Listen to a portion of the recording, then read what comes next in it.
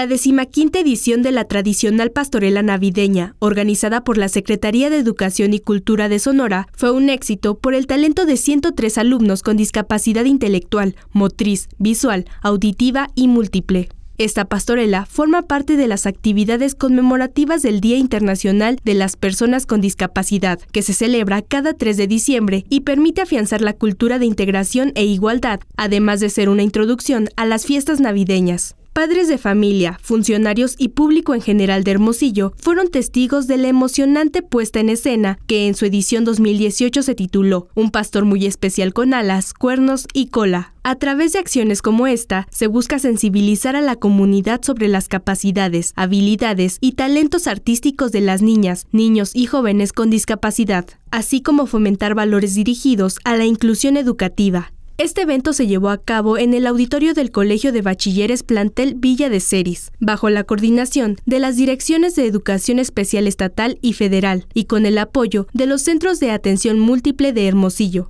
Con información de Juan José Romero, corresponsal en Sonora, Notimex.